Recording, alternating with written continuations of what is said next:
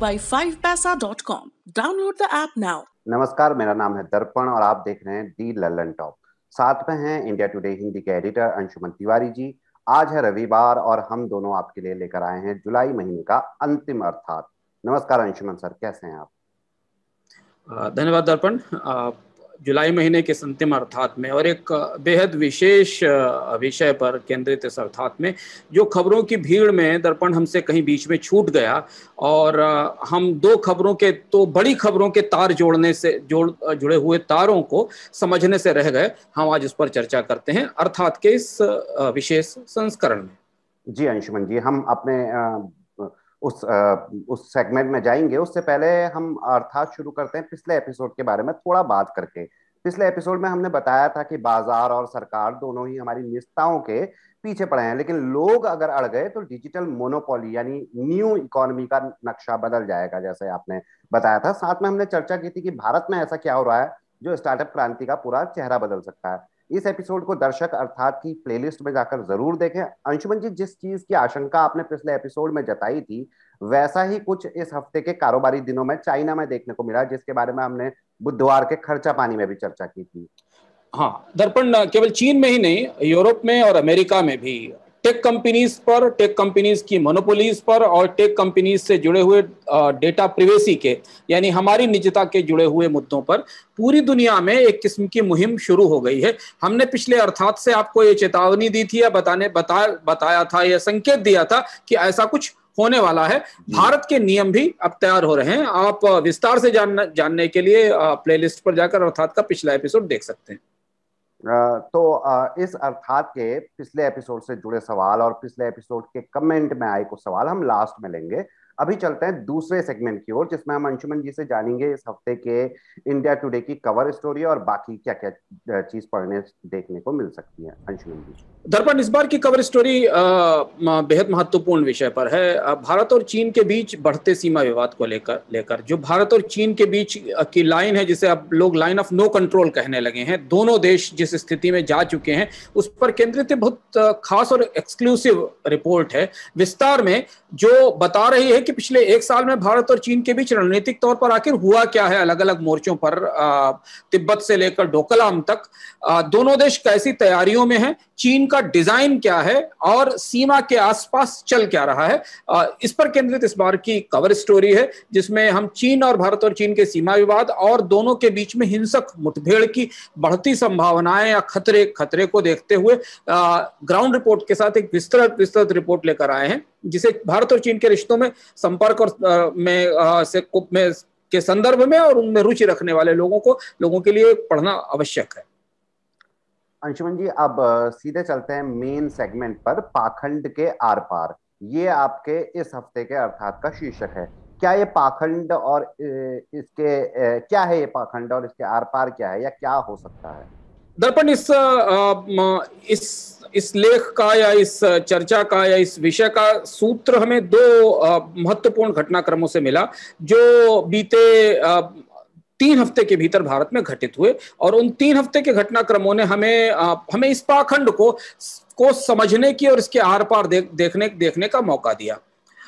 अब 2016 में reserve bank ने केंद्र अपने सारे बैंकों से कोऑपरेटिव और प्राइवेट और कॉमर्शियल बैंकों से ये कहा था कि जिन लोगों को कि ऐसे लोग जो पॉलिटिकली एक्सपोज्ड हैं जिनको पेप कहा जाता है, ऐसे लोग जो राजनीतिक रूप से एक्सपोज्ड हैं, उनके बारे में विस्तार से बताएँगे, उनके, के साथ कारोबार करने में, उनके साथ खाता खोलने में, उन्हें लोन देने में अतिरिक्त सतर्कता बरती जाए, और उसके एक नियम तय किए थे। बैंकों को यह नहीं पता था कि जिन लोगों, पता था बैंकों को, पर देश को यह नहीं पता था कि जिन लोगों से कारोबार करने में बैंकों को बीसियों शर्तें लगाई गई थी, उन्हीं लोगों को कोऑपरेटिव बैंकों में डायरेक्टर बनाया जाता रहा था। ये, वे लोग जिन्हें बैंकों से कारोबार करने में सतर्कता कहा गया था, वही कोऑपरेटिव बैंक में डायरेक्ट, डायरेक्टर बनाया गया था। ये ऐसा इसलिए होता, हुआ क्योंकि ये जो एक एक किस्म का राजनीतिक पाखंड भारतीय राजनीति में में में और खासतौर से आर्थिक नीतियों में बैठा है, वो अब बहुदलीय है या वो सर्वदलीय है, उसमें दलों की कोई सीमा नहीं है रिज़र्व बैंक ने जून के आखिर में एक आदेश जारी किया, जिसमें उसने कहा कि सहकारी बैंकों में निदेशक, प्रबंध निदेशक के पदों पर सांसदों, विधायकों और चुने हुए प्रतिनिधियों की नियुक्ति नहीं होगी। ये एक महत्वपूर्ण सुधार था जिसकी ज़रूरत काफ़ी लंबे समय से ज़ाहिर की जा रही थी और एक कहा जा रहा था कि कोऑपरेटिव बैंकों को राजनीति की जकड़ से निकालकर बाहर किया जाए और इसे इसके लिए रिज़र्व बैंक का यह कदम बेहद ज़रूरी है। लेकिन रिज़र्व बैंक को यह नहीं पता था कि उसके इस आदेश के दौरान ही केंद्र सरकार के भीतर नया सहकारिता मंत्रालय बनाने की फ़ाइल चल रही थी। यानी जब घोटालों के बहुत लंबे इतिहास के बाद सहकारी बैंकों में पॉलिटिकल इंटरवेंशन खत्म करने की, पॉलिटिकल इंटरफियरेंस खत्म करने की, राजनीतिक हस्तक्षेप खत्म करने की, कोऑपरेटिव बैंकों में लोगों की जमा और बचत को मनमाने राजनीतिक स्वार्थ के लिए, अपनी कंपनियों में निवेश करने के, स्थापित घोटालों को बंद करने के लिए रिज़र्व बैंक ने जब यह प्रयास शुरू किया कि इस व्यवस्था में पारदर्शिता लाई जाए, तब केंद्र सरकार ने कोऑपरेटिव सेक्टर में पॉलिटिकल अंडर में में इंटरवेंशन की पूरी की पूरी व्यवस्था को संस्थागत बना दिया इंस्टीट्यूशनल कर दिया। और उसके बाद जब ये मंत्रालय बना उसके बाद बहुत सारे सवाल उठे बहुत सारे राज्यों ने आपत्तियाँ लगाई और ये कहा कि कोऑपरेटिव तो राज्य का विषय वो सारी सारी बहसें अलग हैं। बहस यहाँ है पाखंड की का, का जो मुद्दा है और बहस यहाँ है वो इस बात पर है कि यहाँ तो बहुत मुश्किल से तमाम लानत मलामत के बावजूद तमाम मुश्किलों के बावजूद कितने कोऑपरेटिव बैंकों के डूबने के बाद पहली बार यह बात भारत के नियामकों को समझ में आई थी कि भारत की कोऑपरेटिव बैंकिंग को राजनीति से दूर रखना ज़रूरी है। वहाँ से राजनीति को अलग रखा जाना चाहिए। और रिज़र्व बैंक ने पहली बार इस तरीके के, के नियम नोटिफाई किए थे।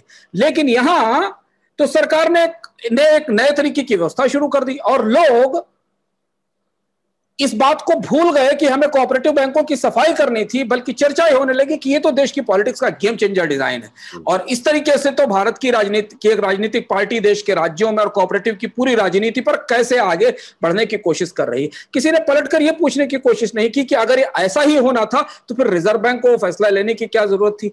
ऐसा ही होना था तो पिछले दो साल से केंद्र सरकार के मंत्री अलग अलग फोरम पर क्यों ये कह रहे थे कि कोऑपरेटिव बैंक्स का और कोऑपरेटिव सेक्टर के कामकाज में पारदर्शिता लाई जानी चाहिए, उसमें राजनीति का दखल अलग किया जाना चाहिए, उसमें इंडिपेंडेंट रेगुलेटर्स बनाए जाने चाहिए और ये सारी बहसें पीछे रखी रह गई और ताली इस बात पर बजने लगी कि ये कैसा ज़बरदस्त गेम चेंजर आइडिया है, जिसमें कि अब केंद्र सरकार कोऑपरेटिव का मंत्रालय बनाने जा रही है, जो मंत्रालय, जो जो मूलतः राज्यों का विषय है।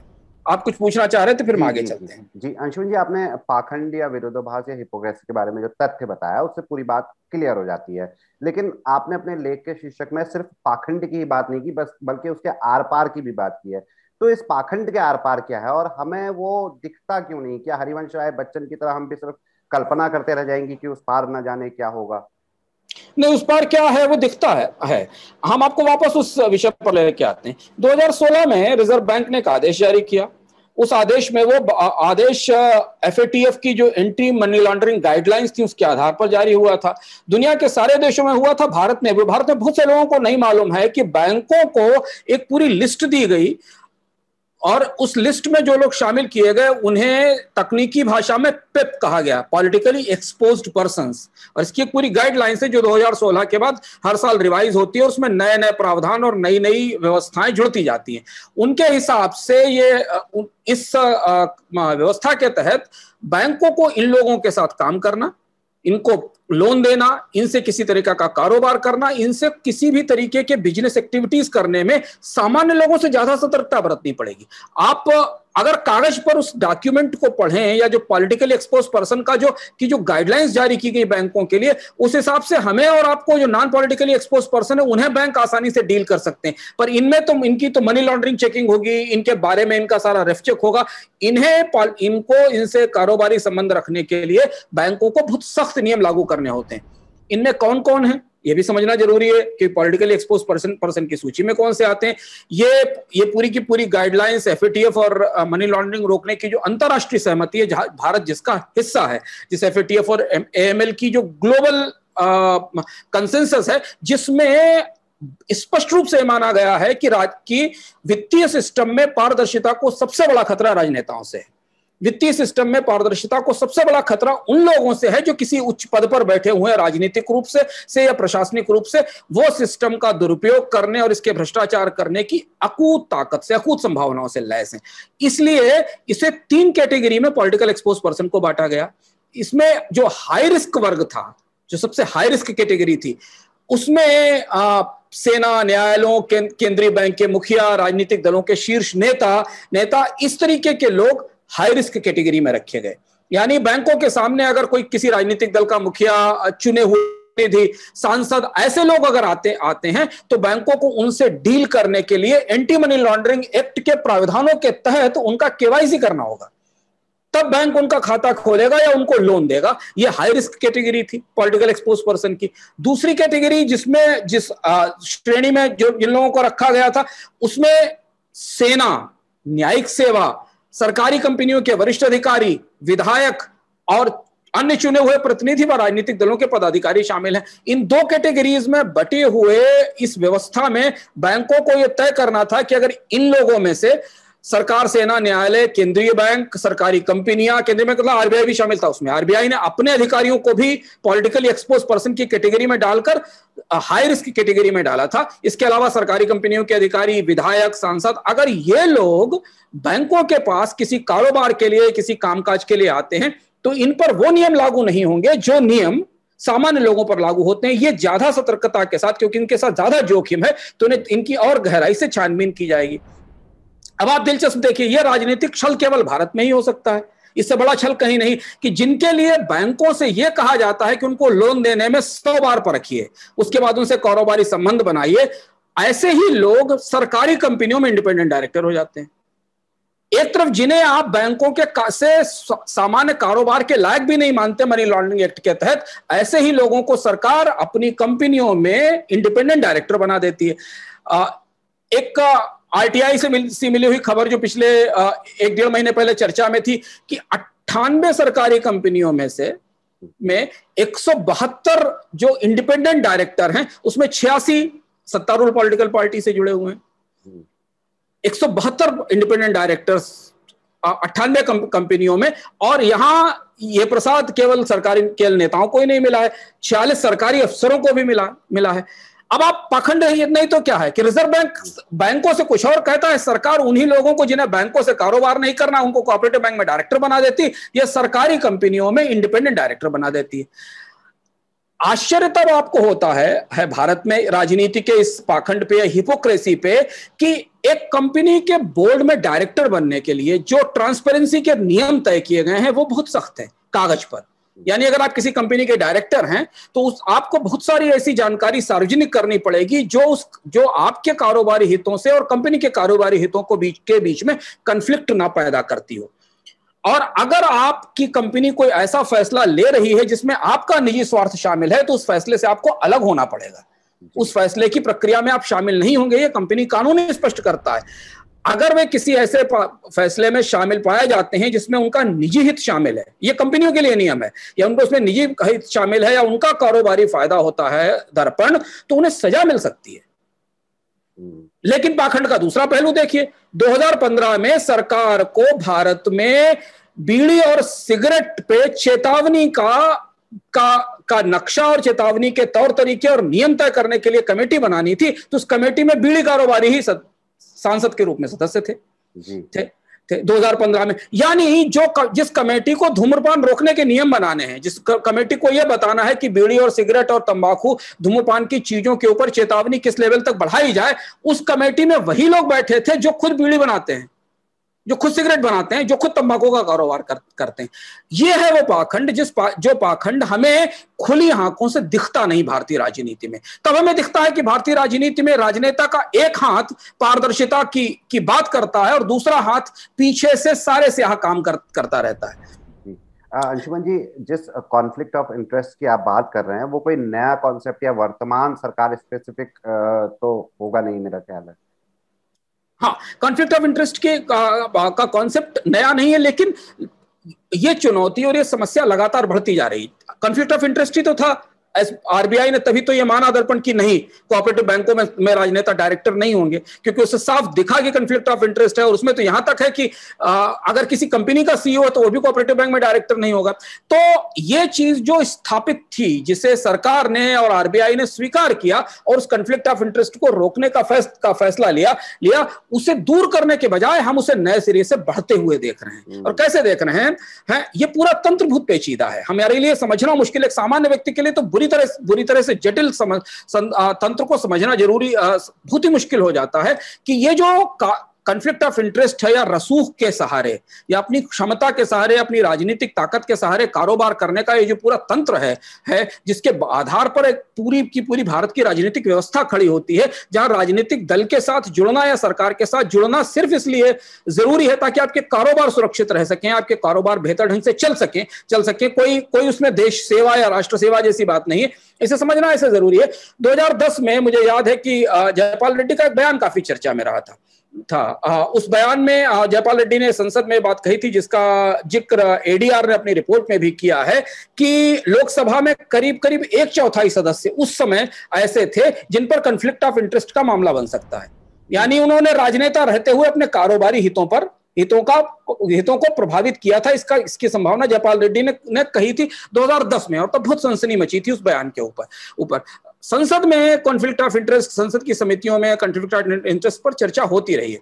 अब आप ध्यान से देखिए अगर इस समय लोकसभा का स्ट्रक्चर तो आपको समझ में आएगा कि पारदर्शिता की चुनौती कितनी बड़ी कैसे आप जान सकते हैं कि जो आप जिस मंत्री या नेता को या सांसद को आपने भेजा है वो अपने कारोबारी हितों को प्रोटेक्ट नहीं करेगा अपनी क्षमता से? इसे समझने की कोशिश करें। एक छोटा सा सा, सा सा डेटा पॉइंट अगर आप लोकसभा के सदस्यों के हिसाब से समझने की कोशिश करें तो लोकसभा में आने वाले लोगों लोगों में जितने सदस्य आ रहे हैं, उनमें कारोबार से आने वाले लोगों की संख्या सबसे ज़्यादा हो रही है। पहले कभी किसान और समाज सेवी और वकील इस तरीके के लोग आते थे। लोकसभा का जो पोर्टल बताता है कि पाँच में से करीब तीन सौ बावन सदस्य, तीन सौ बावन सदस्य ऐसे हैं, साठ फ़ीसदी सदस्य ऐसे हैं, जो किसी न किसी कारोबार से जुड़े हुए हैं। कोई ना कोई कारोबारी व्यवस्था से जुड़े हुए वो ट्रेडर हैं, वो स्टॉक ट्रेडर हैं, वो इंडस्ट्रियलिस्ट हैं, वो इन्वेस्टमेंट बैंकर हैं, वो एग्रीकल्चर ट्रेड ट्रेडर हैं फार्मर नहीं एग्रीकल्चरिस्ट हैं हैं। वो किसी न किसी ऐसी व्यवस्था से जुड़े हुए हैं जो सीधे तौर पर बिज़नेस से और कारो, कारोबार से जुड़ी हुई है। और वो वो लोकसभा में सदस्य बनकर आते हैं। हमारे पास इसका की कोई जानकारी और डेटा नहीं लेकिन एडीआर ने अपनी स्टडी में पाया कि कि आ, कारोबारी पृष्ठभूमि से आए नेताओं के होने के कारण के कारण कंफ्लिक्ट ऑफ़ इंटरेस्ट की समस्या सबसे ज़्यादा आती है। उलझन इसमें एक और है कि केवल यही नहीं है दर्पण कि वो जब तक पद पर हैं, सांसद, मंत्री, विधायक हैं, तब तक वो अपने फैसलों को इन्फ्लुएंस कर सकते हैं, बल्कि उसके बाद भी कर सकते हैं, क्योंकि वो बहुत सारी ऐसी सूचनाओं से से वाकिफ होते हैं, बहुत सारी ऐसी सूचनाओं सूचनाओं की जानकारी रखते हैं, जो आने वाले समय, उनके, के पद से हटने के बाद भी कंफ्लिक्ट ऑफ़ इंटरेस्ट या उनके कारोबारी हितों को साधने में मदद करें, करेंगी। जबकि वो जिस मकसद से संसद या संविधान या चुनाव उन्हें भेजता है, वहाँ उन्हें कारोबारी हितों को पीछे रखना है, तब वो एक पारदर्शी राजनेता के तौर पर सामने हो पाएँगे। ये चुनौती पूरी दुनिया में है। मैं फिर कह रहा हूँ, ये भारत की नहीं, ये पूरी दुनिया की चुनौती और हम जहाँ पर सरकारें और राजनेता पारदर्शिता और ट्रांसपेरेंसी और पिछली सरकारों के भ्रष्टाचारों पर इतने सारी बातें करते हैं, हमने पिछले सात साल में इसे रोकने के लिए किया क्या? हमने पिछले सात साल में इस कंफ्लिक्ट ऑफ़ इंटरेस्ट को खत्म करने के लिए, इसे बहुत बहुत सूक्ष्म है बहुत ही सूक्ष्म है। इन्हें रोकने के लिए क्या किया? हमने तो ये देखा कि कोऑपरेटिव बैंकों के बारे में आरबीआई कुछ सोचता है और राजनीतिक पार्टी कुछ और सोचती है, लेकिन दुनिया के देशों ने बहुत कुछ किया है। जैसे आपने बताया कॉन्फ्लिक्ट और इंटरेस्ट को आपने काल और परिस्थिति के माध्यम से समझाया। और आपने कहा कि दुनिया भर के देशों ने इसमें बहुत कुछ किया है। तो दुनिया भर के देशों में इसका निवारण कहाँ और कैसे ढूंढा जा रहा है, कैसे ढूंढा गया है, अंशुमन जी? हमारे पास कई सारे देशों के उदाहरण उपलब्ध हैं। विस्तार से वो उदाहरण सर्च करने पर इंटरनेट पे भी मिल जा, मिल सकते हैं। है? दुनिया के देशों ने ने एक बहुत बड़ा काम किया। जिन देशों ने अपने यहाँ राजनेताओं के राजनीतिक स्वार्थ और भ्रष्टाचार पर नियंत्रण करने की कोशिश की, कि जिसमें ब्रिटेन, कनाडा, अमेरिका जैसे देश है, उन्होंने ये करने, ये सबसे पहला काम ये किया कि अपने नेताओं के लिए डिस्क्लोजर के नाम बहुत बहुत बड़े कर दिए। यानी उन्हें हर छोटी छोटी जानकारी। हर छोटी छोटी जानकारी नेता होने के बाद सांसद होने के बाद मंत्री होने के बाद हर छोटी छोटी जानकारी उन्हें देश के सामने सार्वजनिक करनी होगी। यहाँ तक कि उन्होंने किस कंपनी के शेयर खरीद रखे हैं? यहाँ तक कि वो किसका उनका उनके परिवार के लोग किस कंपनी में काम करते हैं? यहाँ तक कि उनके आय के विभिन्न स्रोत क्या हैं? और ये डिस्क्लोजर के नार्म सिर्फ़ उनके पद पर रहने तक नहीं बल्कि उसके बाद तक लागू हो, लागू होते हैं। हम्म। आपको याद होगा नोटबंदी के दौरान सरकार ने आ, ने आदेश दिया था कि, कि मंत्री और सांसद और विधायक अपने खातों का का हिसाब किताब देंगे उसके बाद कुछ पता नहीं चला। आ, सब पारदर्शिता की राजनीतिक पारदर्शिता की दर्पण पहली और महत्वपूर्ण शर्त यह है कि जो पद पर बैठा हुआ है जो निर्णय लेने की स्थिति में है जिसके पास एक डिस्क्रिप्शनरी पावर है जिसके पास एक विवेकाधीन अधिकार है उसका उसके बारे में पूरी की पूरी जानकारी हमारे एक क्लिक पर होनी चाहिए। हमें पता होना चाहिए कि हमारे सांसद और सांसद के रिश्तेदार और नातेदार और उसके दूर के रिश्तेदार और उसके और सुदूर के रिश्तेदारों का भी क्या बिज़नेस है। जी बिल्कुल। है। हमें यह पता होना चाहिए। आखिर वो सांसद सांसद की इनकम सांसद होने के बा, बाद इतनी तेज़ी से कैसे बढ़ जाती है, है? आखिर वो ऐसा क्या कर, करने लगता है कि वो वो वो पाँच साल के कार्यकाल में में अपनी एसेट का लेवल यहाँ तक ले जाता है, है। हो सकता है वो जेन्युइन या ट्रांसपेरेंट बिज़नेस कर रहा हो लेकिन वो ट्रांसपेरेंट बिज़नेस है क्या? क्या उसका रिश्ता उसके नेता होने से, सांसद होने से, विधायक होने से, मंत्री होने से है या नहीं है? ये चीज़ सबसे महत्वपूर्ण है। ब्रिटेन ने, अमेरिका ने, कनाडा ने राजनीतिक और सरकारी पदों पर, अधिकारियों को को पदों पर बैठे हुए लोगों को अपनी हर तरह की सूचनाएँ सार्वजनिक करने के लिए बाध्य किया और वो सूचनाएँ पब्लिक डोमेन में, आप तो अपने मंत्री के बारे में नहीं जानते। हम तो अपने सांसद मंत्री के बारे में कुछ भी नहीं जानते उसका केवल एक डिक्लेरेशन आता है जो चुनाव के समय फ़ाइल करता है या वो एक डिक्लेरेशन जो जो संसद में आ, में एक नियम के तहत देता है उसमें बहुत सारी जानकारी जानकारियाँ हैं जो बहुत ही छोटी और संकुचित है, है। उसका इन्वेस्टमेंट क्या है किस शेयर में उसने पैसा लगा रखा है उसकी पूरी फैमिली का बिज़नेस क्या क्या है ये सारी चीज़ें हमें नहीं पता है। दूसरी चीज़ जो सबसे महत्वपूर्ण सुधार दुनिया के देशों ने अपने राजनेताओं की छवि और अपनी राजनीति की छवि साफ़ सुथरी रखने के लिए इंटीग्रिटी सुनिश्चित करने के लिए और लोगों का भरोसा जो दरक रहा है जो टूट रहा है उसे बचाने के लिए किया है कि अगर कनाडा और दक्षिण अफ्रीका और ऑस्ट्रेलिया में यह हुआ है कि अगर कोई ऐसा प्रस्ताव उनकी समिति में या उनके सदन में वो जिस भी सदन के सदस्य हैं चाहे वो नगर पालिका के सदस्य हैं हैं? या वो विधानसभा के सदस्य हैं विधान परिषद के सदस्य हैं लोकसभा के सदस्य हैं या उनका परिवार किसी ऐसे कारोबार में जुड़ा हुआ है और वो सरकार में अधिकारी हैं। अगर कोई भी ऐसा मामला मामला आता है तो उन्हें स्वयं खुद को अलग करना होगा और ये घोषित करना होगा कि नहीं ये काम तो मेरे कारोबार से जुड़ा हुआ है लेकिन इस फैसले में मैं शामिल नहीं हो सकता। नहीं, नहीं लेकिन यहाँ तो बीड़ी हमने बीड़ी कैपिटलिज्म देखा 2015 में। में कि जो बीड़ी और और तंबाकू के लिए नियम बनाने वाली थी, उस समिति में ही वो लोग बैठे थे जो बीड़ी बना जो जो तंबाकू और उसका कारोबार करते थे। तो दूसरा ये कि अगर मान लीजिए कोई रियल इस्टेट डेवलपर है और वो सांसद है उदाहरण के लिए, और रियल इस्टेट पर अगर कोई बिल संसद में डिस्कस हो रहा है तो उसे घोषित करना पड़ेगा कि नहीं मैं रियल एस्टेट डेवलपर हूँ मैं इसकी डिबेट में और इसके बिल के फॉर्मेशन में और इसमें भाग नहीं लूँगा क्योंकि यहाँ कंफ्लिक्ट ऑफ़ इंटरेस्ट आता है। ये मेरे कारोबार से जुड़ा हुआ प्रकरण प्रकरण है। और ये चीज़ नीचे तक जानी चाहिए चाहे वो वो सभासद हो हो अगर वो सभासद ठेके का काम कर रहा है उसका मूल काम कंस्ट्रक्शन करना है तो वो कंस्ट्रक्शन से जुड़े हुए कार्य मामलों के अप्रूवल में कैसे हिस्सा ले सकता है? हम्म। इस पारदर्शिता को सुनिश्चित करने की कोशिश अफ्रीका में, ऑस्ट्रेलिया में और कनाडा में की गई है। तीसरी जो महत्वपूर्ण बदलाव हुआ है, तीन बड़े बदलाव हुए पहला ये कि डिस्क्लोजर नाम शर्म लेवल तक।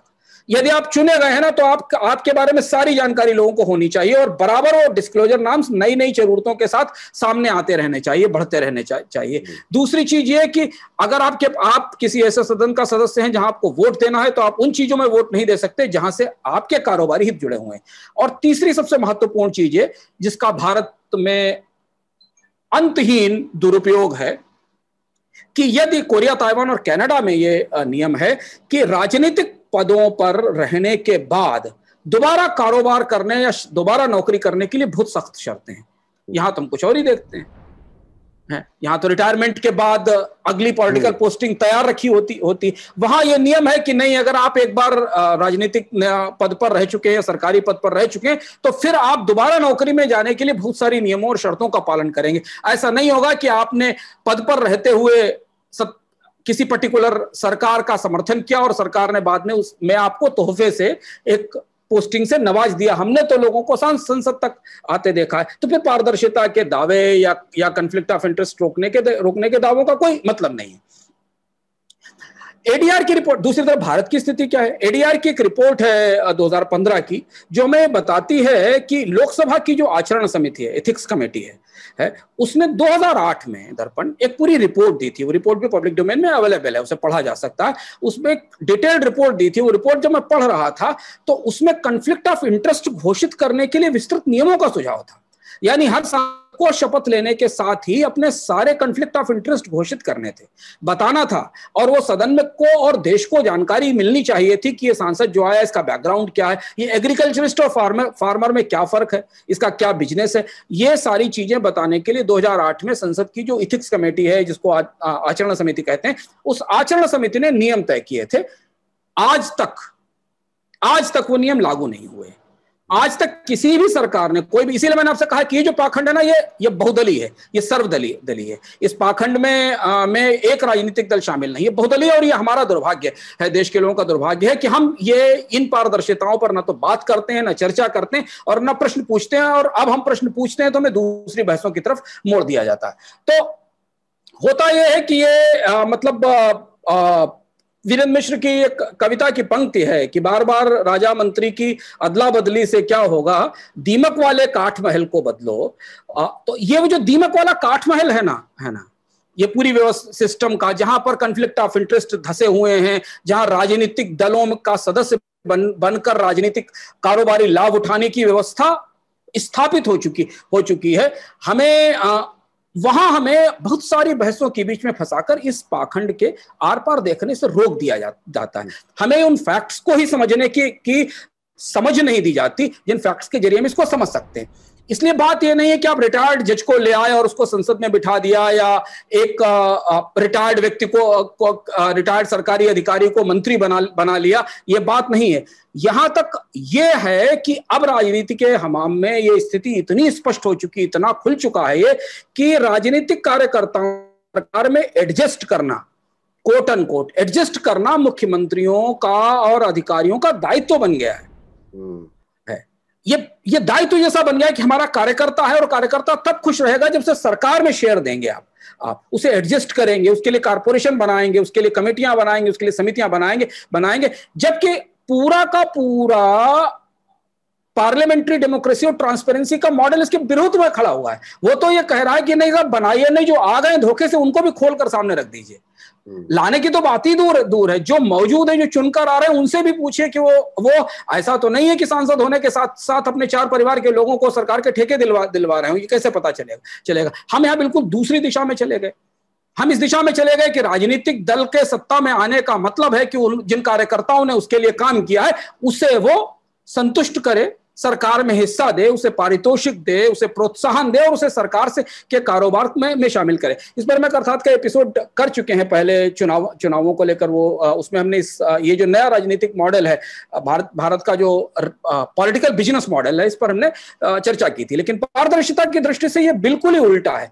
दुनिया किस किस डायरेक्शन में जा रही है कि वो चुने हुए प्रतिनिधि को दोबारा सत्ता में दोबारा पद पर बैठने से या किसी नौकरी में लाने से रोकने की शर्तें रख रही है और हमारे यहाँ उसका उसका बिल्कुल बिल्कुल उल्टा हो रहा है। अंशुमन जी अंतिम सवाल में जाने से पहले मुझे एक एनेक्डोटल मतलब वो याद आ रही है कहानी सी या छोटा सा किस्सा सा याद आ रहा है। जिस तरीके से विदेश या जो जिस तरीके से डेवलप्ड कंट्रीज़ जो हैं कॉन्फ्लिक्ट ऑफ़ इंटरेस्ट को डील कर रही है। नाइन्टीज में एक मूवी आई थी गदर, एक प्रेम कथा। यह अर्थशास्त्र जुड़ा हुआ एनेक्डोट नहीं है बट फिर भी तो ये गदर एक प्रेम कथा जो थी, वो जी ने डायरेक्ट प्रोड्यूस की थी। तो जब जी सी ने अवार्ड हुआ था, उन्होंने कहा था कि हम इस मूवी को, उम्मीद थी कि चौदह पंद्रह अवार्ड उस साल लगान और गदर एक प्रेम कथा ही सबसे अच्छी रही थी। तो जी ने कहा था कि हम गदर को, गदर एक प्रेम कथा को अवार्ड ही नहीं देंगे। उन्होंने उसको हटा दिया था। उस दिन से मैंने जाना था कि कॉन्फ्लिक्ट ऑफ़ इंटरेस्ट क्या होता है और कैसे इसको डील किया जाता है।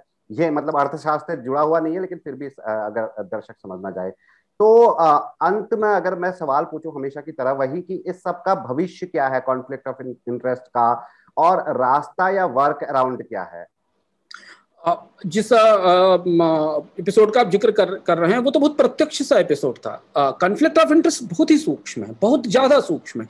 और आप जितने कॉम्प्लेक्स मार्केट इकोनॉमी में चले जाते हैं जहाँ कारोबारी होना और राजनेता होना कंसल्टेंट होना और वर्कर होना होना, ये सारे जो विभाजक रेखाएँ हैं, जहाँ प्रोफेशनल होना और पॉलिटिकल वर्कर होना, ये सारी विभाजक रेखाएँ धूमिल हो जा, हो जाती हैं होती हैं कि आप कंपनी चलाते हुए कार्यकर्ता भी हो सकते हैं और कार्यकर्ता होते हुए कंपनी भी चला सकते हैं और वो कंपनी सरकार के पास पैनल पैन, पैनल में होकर उसे ठेका भी दिल, दिलवा सकते हैं। जब ये जो जो पारदर्शिताएँ हैं और ये जो विभाजक रेखाएँ हैं जो कारोबार को राजनीति से दूर रखने की रखने की विभाजक रेखाएँ स्थापित विभाजक रेखाएँ धूमिल हो जाती हैं तो कंफ्लिक्ट ऑफ़ इंटरेस्ट को समझना और ज़्यादा मुश्किल हो जाता है। और ज़्यादा मुश्किल हो जाता है इसीलिए ज़रूरत होती है कि आप नए सिरे से, हर दो साल में, तीन साल में अपने चुने हुए प्रतिनिधियों, सरकारी अधिकारियों के लिए पारदर्शिता के नए सख्त से सख्त नियम बनाते चले जाएँ। यानी कि उन्हें पता रहे कि अगर वो जा रहे हैं ना तो फिर उन्हें उन्हें बिल्कुल स्पष्ट रूप से अपने बारे में बताना बताना होगा।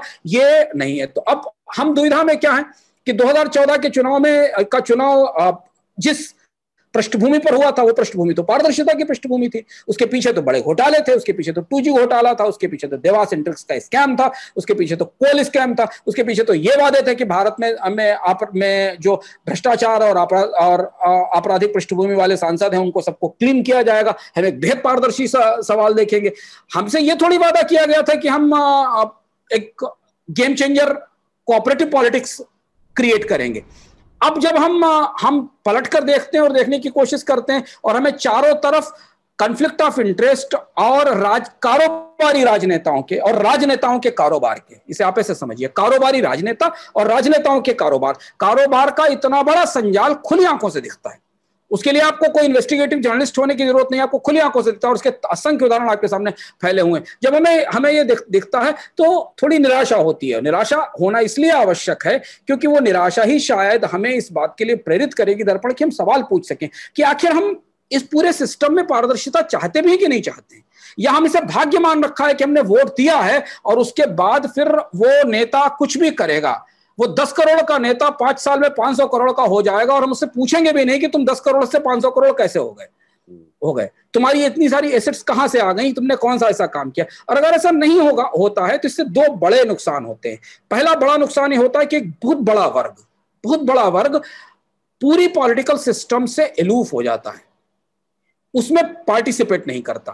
वो वर्ग वो होता है जिसके पास और कुछ करने के लिए है नहीं। तो वो सिर्फ़ अपनी जीविका कमाता और चुपचाप सामान्य रूप से अपनी ज़िंदगी बिताता रहता है। और एक दूसरा वर्ग है जो इस तौर तरीके को सीख लेता है और वो वही बनने की कोशिश करता है जो लो, बाकी लोग कर रहे हैं। कि भाई ऐसे काम नहीं चलेगा जब तक तुम्हारा जुगाड़ नहीं है कनेक्शन नहीं है ना तब तक तुम कंपनी भी नहीं चला सकते। तुम अगर गारमेंट बनाने की फैक्ट्री में लगाना चाहते हो तो पहले समझ लो कि तुम्हारा नेटवर्क कनेक्शन कनेक्शन क्या है तो एक ग्रुप ऐसा होता है जो इस पूरे व्यवस्था से बिल्कुल अलूफ होकर अपनी जगह पर खड़ा रह जाता है और दूसरा वो होता है जो उस जमात में शामिल होने की कोशिश करता है जो जमात राजनीतिक राजनीति के कारोबार और कारोबारी राजनेताओं से भरी हुई भरी हुई। तो वो कंफ्लिक्ट ऑफ़ इंटरेस्ट के उस चैनल में उस पाइपलाइन में उतरने की पूरी जगह बना थोड़ी सी भी जगह तो वहाँ घुसने की कोशिश करता है कि वहाँ उसको जगह मिल जाएगी तो वो उस बुलेट ट्रेन में सवार हो जाएगा जो उसे नई नई ऊंचाई पे ले, जाए ले जाएगी। क्या सरकार सोचेगी? क्या संसद में लोग बात करेंगे? क्या कोई ये बात करेगा? क्या कोई अदालत? क्या कोई रेगुलेटर आ, क्या संसद की की इथिक्स समितियाँ? क्या बड़े बड़े आदर्शवादी और पारदर्शिता की बात करने वाले सरकार के नेता और मुख्यमंत्री और बाकी लोग ये बताएँगे ये करेंगे कि नहीं हम बैठते हैं देश में। सारे मुख्यमंत्री बैठते हैं सारे सांसद विधायक बैठते हैं सारी अदालतें बैठती हैं और हम हम सरकारी और राजनीतिक प्रतिनिधियों के लिए पारदर्शिता के नए नियम तय करते हैं। हम ऐसी संहिता बनाते हैं जिससे दुनिया गर्व करे जिसे दुनिया देखे कि भारत ने अपने राजनेताओं के लिए ऐसी संहिता बनाई ऐसी पारदर्शिता के नियम बनाए जिसको हम कॉपी पेस्ट कर सकते हैं जिसे हम देख सकते हैं कि नहीं भारत में पारदर्शिता के क्या हम कभी ये सोच सकते हैं? क्या ऐसा हो सकता है हो सकता है? यही हम ये आ, उम्मीद तो हमें की जानी चाहिए, लेकिन होगा कि नहीं होगा यह कहना मुश्किल है, पर सवाल ज़रूर होते रहने चाहिए। और कम से कम कुछ ना हो तो हमें और आपको और बाकी लोगों को इस पाखंड के आर पार देखने की समझ ज़रूर पैदा करनी चाहिए। समझ ज़रूर विकसित करनी चाहिए कि हम समझ तो सके कि हो क्या रहा है। सवाल ज़रूर पूछे जाने चाहिए और ये समझ भी ज़रूर होनी चाहिए, हमें हो, आपको या हमारे दर्शकों को, कि जो भी पर्दे के पीछे या इस पाखंड के पीछे या किसी भी चीज़ के पीछे क्या चल रहा है। अंशुमन जी, अब चलते हैं पिछले एपिसोड से जुड़े सवालों की तरफ़। एंटी ट्रस्ट लॉ और ऐसे ऐसे किसी भी सरकारी कानून से जुड़े हुए जुड़े हुए चीज़ से सवाल है कि don't you think this type of action against these giant companies जैसे गूगल और फेसबुक वगैरह की बात की for their data is not good means I want to say by these data these companies are creating better products for us which is ultimately beneficial for us Jitesh Lalwani ji पूछ रहे हैं कि मतलब जो law की बात सरकार लाने की बात कर रही है या जो प्रीवेसी वगैरह की बात कर रही है, क्या आप नहीं समझते कि ये लॉ नहीं लाने चाहिए? क्योंकि अगर अगर कंपनीज़ को डेटा ही नहीं मिलेगा तो हमारे लिए बेटर प्रोडक्ट्स कैसे बनाएगी? डेटा इकोनॉमी के साथ ये दुविधा हमेशा है कि आपकी कितनी प्राइवेसी इस कंपनी को दी जाए। और वो कितनी प्राइवेसी जानना चाहें, चाहेंगे? अल्टीमेटली प्राइवेसी आपकी आर्थिक, आपकी आपकी व्यापारिक, आपकी निजी सूचनाएँ, आपकी निजी सूचनाएँ आप अपने आप को पूरी दुनिया के सामने एक्सपोज नहीं कर सकते। कंपनियाँ जो प्रोडक्ट बना रही हैं वो प्रोडक्ट उनका बिज़नेस है। और उस बिज़नेस के बदले वो जो हमसे ले रही हैं वो हमारी जानकारी और हमारी सूचना है। इसकी एक डिवाइडिंग लाइन इसका एक एक, एक डिवाइडिंग सिस्टम होना ज़रूरी है। नहीं तो हम हम कंसिस्टेंटली बिक रहे हैं इस पूरी व्यवस्था में और हमें उसके बदले कुछ मिल नहीं रहा है। जो प्रोडक्ट वो बना रही हैं वो सारे के सारे product data driven product product हैं और उन डेटा ड्रिवन प्रोडक्ट के पीछे हमारी पारदर्शिताओं से समझौता हो रहा है। ये बात तब लोगों को समझ में आई जब फेसबुक ने चुनाव के लिए अमेरिकन लोगों का डेटा बेच दिया। उन्हें तब यह समझ में आई जब आप जब किसी अमेजोन ने या किसी व्हाट्सएप ने आपका डेटा किसी ऐसी जगह या डार्क वेब पे छोड़ दिया जहाँ से आपका पैसा आपको आपको हैकिंग के रिस्क में डाला जा सकता था आपकी सूचनाएँ चुराई जा सकती थी। तब यह बहस शुरू हुई कि नहीं आखिर हम अपनी निजताओं को किस स्तर तक बताएँगे? जब निजता हमारा संवैधानिक अधिकार है हमारा निजी अधिकार है तो चाहे वो सरकार हो या वो कंपनी हो एक सीमा तय होनी चाहिए। और इसलिए यूरोप में जो नए नियम बने हैं उससे यूरोप में कंपनियों के लिए का, के कामकाज में काफ़ी पारदर्शिता आई। हमसे पूछना तो चाहिए कि आप कौन सी जानकारी चाहते हैं। हम तो एक एप्लीकेशन डाउनलोड करते हैं हमारा सारा डेटा डेटा निकाल लिया जाता हमको पता ही नहीं चलता कि हमारे बारे में क्या है। तो अगर एक डेटा प्रोटेक्शन के सिस्टम होंगे तो दर्पण को पता रहेगा, मैं अपने फ़ूड का फ़ूड हैबिट का डेटा शेयर करना चाहता हूँ तो मुझसे पूछा जाए ना, मैं शेयर करना चाहता हूँ कि नहीं। नहीं मैं अपने क्रेडिट कार्ड का डेटा पब्लिक डोमेन में शेयर करना चाहता हूँ, अपनी बाइंग हैबिट का शॉपिंग हैबिट का डेटा डालना चाहता हूँ तो ये तो ये हमसे पूछा जाना चाहिए। ये मौलिक अधिकार के, निजता के मौलिक अधिकार के विरुद्ध है कि आप कंपनी की सेवा ले लीजिए और उसके बदले उसे सब कुछ एक्सपोज कर दीजिए कर दीजिए। इसलिए डिबेट महत्वपूर्ण है और इसलिए लोग अड़ रहे हैं इस बात पर। दर्पण की नहीं, हमारी निजताओं की सुरक्षा की जानी चाहिए, क्योंकि ये बहुत ये बहुत बहुत बहुत सटल और बहुत दिलचस्प किस्म का का रहस्यमय किस्म का लोक है। इस लोक में कंपनियाँ आगे चलती हैं और सरकार पीछे चलती है। डेटा किसी सरकार के पास नहीं डेटा तो फेसबुक के पास है डेटा तो किसी अमेजोन के पास है डेटा तो किसी जियो के पास है डेटा तो किसी एयरटेल के पास है पर उससे डेटा लेना किसी भी राजनीतिक दल के लिए बहुत आसान है। हम्म। और यही हमने फेसबुक के मामले में देखा था। तो मुझे लगता है कि कंपनियाँ इस बात को रियलाइज़ कर रही हैं कि एनएफ इज़ एनफ बहुत समय हो गया। इस कारोबार को करते हुए, अब इसमें कुछ कुछ नियम, कुछ कानून, कुछ शर्तें होनी चाहिए। लोगों से कम से कम पूछा तो जाना चाहिए चाहिए कि क्या वो ये बताना भी चाहते हैं कि नहीं बताना चाहते? अंशुमन जी, अभी फॉर यू ट्वेंटी ये यूज़र नेम है, इनका सवाल है can tax servers be part of national assets I mean can privately hold servers become part of national government assets so that we can pay tax for servers and government is held accountable for data in it? Also in return government can rent the server to tech companies मतलब जो servers को जैसे अभी spectrum की तरह मेरे ख्याल से ला, लाने का क्या ऐसा संभव है और इससे फ़ायदा होगा ये बोलना चाह रहे हैं। ये बिल्कुल दूसरा ध्रुव है। इससे पहले जो सवाल आया आया था था हितेश लालवानी का वो ये संकेत देता था कि नहीं आप कंपनियों को खुला छोड़ दीजिए वो जो मर्ज़ी करें आप सिर्फ़ उनकी सर्विस लीजिए और ये मत पूछिए कि आपके डेटा को वो किस तरह और कहाँ बेच रहे हैं। ये बिल्कुल दूसरा सवाल है कि आप सरकार के हाथ में अपना सारा डेटा रख दीजिए रख दीजिए। हम्म। सारे सर्वर सरकार को दे दीजिए अमेजन का सर्वर भी सरकार का हो जाए गूगल का सर्वर भी सरकार का हो जाए तो सरकारें तो उससे ज़्यादा खतरनाक है। है, है? सरकारें तो चाहती ही है कि वो तो वैसे भी सारी चीज़ों पर नियंत्रण करती हैं वो और भी आपके बारे में जान, जानकारी चाहती हैं आधार को लेकर तो यही डिबेट है। सुप्रीम कोर्ट के में यही डिबेट थी कि आधार के डेटा में प्रिवेसी का के लेवल को लेकर डिबेट है, है? तो प्रॉब्लम क्या है ना कि हम दो बहुत बड़ी ताकतों के बीच में फंस गए हैं दर्पण। एक तरफ़ बहुत ताकतवर बाज़ार और एक तरफ़ बहुत ताकतवर सरकार। और उस दोनों को हमारी निजता चाहिए उसको हमारी प्राइवेसी चाहिए उसको हमारी आदतें चाहिए उसको हमारा मनोविज्ञान की समझ चाहिए उसे हमारे खाने पीने पहनने ओढ़ने सर्च करने डिलीट करने आने जाने हर चीज़ की जानकारी चा, चाहिए चाहिए। सरकार एक सर्विलांस स्टेट बनाना चाह बनाने की कोशिश में रहती है हमेशा सरकारें। पुराने दौर से जब टेक्नोलॉजी नहीं थी तब भी वो एक सर्विलांस स्टेट बनाने की कोशिश करती है और मार्केट हमेशा एक डेटा ड्रिवेन या डेटा इंफॉर्मेशन बेस्ड इकोनॉमी बनाने की कोशिश करता है। ये दोनों चीज़ें आवश्यक हैं। सिक्योरिटी से सूचनाएँ सरकार के पास रहे भी ज़रूरी है। और अच्छे प्रोजेक्ट प्रोडक्ट और सर्विसेज़ की प्लानिंग के लिए सूचनाएँ कंपनियों और कारपोरेट के पास नहीं ये भी ज़रूर ज़रूरी है, है। पर हमें ये इधर या उधर के बीच में नहीं कहीं बीच में खड़े होना होगा वो बुद्ध वाला जो मध्यम मार्ग मार्ग है, है। वहाँ पर हमें आकर खड़े होना पड़ेगा जहाँ हमारा अधिकार हो ये। लोकतंत्र में में जैसे मतदान का अधिकार हमारा है नेता चुनने का अधिकार हमारा है बाज़ार में कार चुनने का अधिकार हमारा है मोबाइल ऑपरेटर चुनने का अधिकार हमारा है हम कपड़ा कौन सा खरीदे इसका अधिकार हमारा है तो यह अधिकार हमारा होना चाहिए कि हम अपना कितना डेटा किसको देना चाहते हैं। हमें ये पता हम हमसे पूछा जाना चाहिए ना कि हम अपने कौन से डेटा को सरकार को को देने में के इच्छुक है और कौन से डेटा को बाज़ार को दे, देने के इच्छुक है। अभी तो हमें पता ही नहीं है। हमें तो जानकारी नहीं तो दोनों तरफ़ से बिल्कुल खुल चुके हैं। हमने कहा हम लोग उधर चुके हैं बिल्कुल बिल्कुल।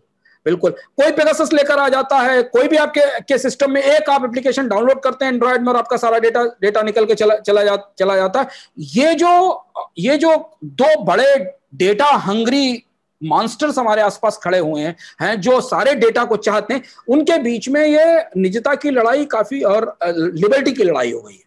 ये एक किस्म की आज़ादी की लड़ाई जैसी लड़ाई है जो पूरी दुनिया में शुरू हो रही कि हमारे जो डेटा है हमारी जो प्रिवेसी है, है उसको प्रोटेक्ट किया जाए। और इसीलिए सरकार को भारत में इतने समय के बाद डेटा प्रोटेक्शन बिल लाना पड़ा ना। जी। हाउस में टेबल है ना जिस पर बहस चल रही है। ये करना पड़ा ना कि नहीं हम डिजिटल मोनोपोलीज नहीं बनने देंगे भारत में में। ये मानना पड़ा ना जब डिजिटल मोनोपोली बन गई तो उसके बाद मानना पड़ा। तो इसलिए मुझे लगता है कि दोनों ध्रुवों के बीच में आ, में के बीच में जान में झूलने के बजाय बीच एक एक मध्यमार्गी व्यवस्था होनी चाहिए जो बनना शुरू हो गई है। यूरोप में बनना शुरू हो गई है अमेरिका में बनना शुरू शुरू हो गई हो गई है। लोग सबसे महत्वपूर्ण है ना। हम्म। महत्वपूर्ण तो लोग हैं ना हैं नागरिक हैं व्यक्ति है महत्वपूर्ण और वो जो व्यक्ति है महत्वपूर्ण उसकी स्वाधीनता होनी चाहिए कि वो ये बताए कि उसकी सूचना किसको मिलेगी और कितनी मिलेगी। जी अंशुमन जी आज का अंतिम सवाल देव अशोक जी का है। सवाल और एक एक तरीके का स्टेटमेंट है। लंबा है मैं पूरा ही पढ़ देता हूँ इसको। ये पूछते हैं सर पीएलआई स्कीम को आए हुए कुछ टाइम हो गया है। क्या इससे कुछ फ़ायदा हुआ? गवर्नमेंट अब फोर्सफुली फॉरेन ब्रांड्स का मार्केट एक्सेस रोक रही है जो मैन्युफैक्चरिंग नहीं करना चाहती। बट इससे सच में कुछ फ़ायदा होता है या कंपनीज़ दूसरे मार्केट ढूंढ लेती है? लास्ट तमिलनाडु गवर्नमेंट के 200 बिलियन डॉलर का आ, के इलेक्ट्रॉनिक कंपोनेंट्स की मैन्युफैक्चरिंग का गोल है बाई 2025 26 क्या इंडिया इससे फाइनली एक एक्सपोर्ट ड्रिवन इकोनॉमी बन पाएगा? क्योंकि हम हमेशा ही उल्टा काम करते हैं बिना एक्सपोर्ट दर्पण मैम दर्पण मैन का सवाल समझ गया। पीएलआई पर हम अलग से एक चर्चा करेंगे। आ, हम्म। मैं पीएलआई स्कीम को लगभग एक साल पूरा हो गया और पीएलआई के दायरे में आने वाले उद्योगों की संख्या लगातार बढ़ रही है। है, हम अर्थात के एक पूरे एपिसोड में पीएलआई स्कीम उसका असर, उससे मिलने वाले फ़ायदे, इन पर सब पे विस्तार से चर्चा करेंगे तो हम इन सारे सवालों का जवाब दे पाएँगे। नहीं तो अभी ये इसमें जब तक हम उन आंकड़ों के साथ और उन मॉडलों के साथ आपके पास नहीं आए, तब तक इस सवाल का बहुत संतोषजनक उत्तर शायद नहीं मिल पाएगा। हम इस पर काम करके ज़रूर लौटे, लौटेंगे और एक एक अर्थात के एपिसोड में इस पर चर्चा ज़रूर करेंगे। अंशुमन जी अब सबसे अंत में चलते हैं निजी रूप से अर्थात के मेरे फेवरेट सेगमेंट की ओर। और और सवाल वही जो हमेशा हम पूछते हैं कि आपके भीतर के बुद्धिजीवी ने इस हफ़्ते क्या या, यायावरी की है? मतलब क्या पढ़ा क्या देखा? और हमारे दर्शकों को क्या और क्यों रेकमेंड करना चाहिए? दर्पण बहुत सारी इस बीच व्यस्तताएँ थी। दो किताबों की दृष्टि से मैं आपको बताता हूँ कि दो किताबें नई जो मैं एक साथ पढ़ रहा हूँ। एक किताब तो एक उर्दू के बड़े नक्काद, बड़े समालोचक हैं शमीम हनफी। उनकी किताब है हम सफ़रों के दरमिया जो पिछले पिछली दो दो पीढ़ियों के जो बड़े उर्दू शायर हुए हुए हैं, फैज़, इकबाल, राशिद जोश, इनकी शायरी को, शायरी को समझने में, इनकी शायरी के के ऐसे आयाम जिनके बारे में ना सामान्य रूप से आप उनकी शायरी सुनकर नहीं समझ सकते। जब तक आपको कोई नक्काद, कोई समालोचक या कोई क्रिटिक ये ना बताए कि उस शायरी का का इम्पैक्ट क्या था, वो किताब मैं पढ़ रहा हूँ, वो किताब अभी आई आई है और बहुत ही दिलचस्प किताब है मैंने उसको जब पढ़ना शुरू किया, हालाँकि वो उर्दू की किताब उसको हिंदी में अनुवाद अनुवाद हुआ है तो मैं जोश के बारे में, इकबाल के बारे में, राशिद के बारे में पढ़ रहा था। तो एक तो ये पुस्तक मेरे अध्ययन में चल रही है। दूसरी पुस्तक डेविड कैन मैन की किताब आई है नॉइज़। ये किताब बता noise offline human judgment. David Kahneman काफ़ी मशहूर राइटर रहे इनकी एक पहले किताब आई थी नज। काफ़ी चर्चा में रही थी इससे पहले इनकी किताब आई थी थिंक फास्ट एंड स्लो। तो ये जो नॉइस किताब है ये ये उस शोर उस भीड़ वो वो सारी सारी गैर ज़रूरी सूचनाएँ जो आपकी समझ को ही बाधित कर देती है। आप इतना जान जाते हो कि कुछ भी नहीं जान पाते हो। आपके पास इतनी सूचना आ जाती है कि आप वास्तविक सूचना को में ही गुम हो जाते हो। उस फेनोमेना को समझने में हमारी मदद करती है कि जो नॉइस है हमारे पास इन उससे हम कैसे बच सकें जिस पर हमने आज भी चर्च, चर्चा की थी कि हम और वो नॉइस जो है वो मैन्युफैक्चर्ड है वो पॉलिटिकल है वो आपको ऐसे नॉइस में ले जाता है जहाँ पे समझ ही नहीं पाते कि हो कुछ उल्टा रहा है और आप तारीफ़ या या विरोध किसी दूसरी चीज़ का करने लग, लगते हैं जबकि हो एक्चुअली वास्तविकता उसके पीछे कोई दूसरी होती। है ये दो चीज़ें मेरे अध्ययन के के इस बार के प्रोसेस में तो ये था इस हफ़्ते का अर्थात शो के बारे में कोई भी राय देनी हो तो प्लीज़ कमेंट के माध्यम से ज़रूर दें। और साथ में कोई सवाल हो तो वो भी पूछें हम समय जितनी हमें इजाज़त देगा आपके अधिक से अधिक सवालों को अगले सप्ताह लेने का प्रयास करेंगे। तब तक के लिए विदा शुक्रिया अंशुमन जी। धन्यवाद।